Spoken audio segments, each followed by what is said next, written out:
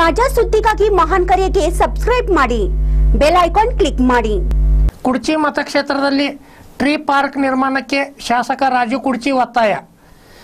ಕುಡ್ಚಿ ಮತಕ್ಷೇತ್ರದಲ್ಲಿ ಕಡಿಮೆ ಮಳೆಯಾಗುತ್ತಿದ್ದು ಬರಗಾಲ ಪರಿಸ್ಥಿತಿ ನಿರ್ಮಾಣವಾಗಿದೆ. ಇದನ್ನು ತಪ್ಪಿಸಲು ರಾಜ್ಯ ಸರ್ಕಾರ ಇಲ್ಲಿ ಟ್ರೀ ಪಾರ್ಕ್ ನಿರ್ಮಿಸಬೇಕೆಂದು ಶಾಸಕ ಪಿ ರಾಜು ಒತ್ತಾಯಿಸಿದ್ದಾರೆ.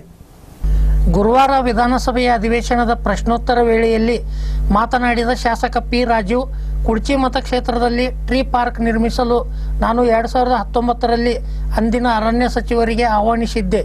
ಈಗೇನಾದರೂ ಸರ್ಕಾರ ಟ್ರೀ ಪಾರ್ಕ್ ನಿರ್ಮಿಸಲು ಯೋಚಿಸುತ್ತಿದ್ದರೆ ಕುಡ್ಚಿ ಮತಕ್ಷೇತ್ರದಲ್ಲಿ ನಿರ್ಮಿಸಬೇಕು ಎಂದರು.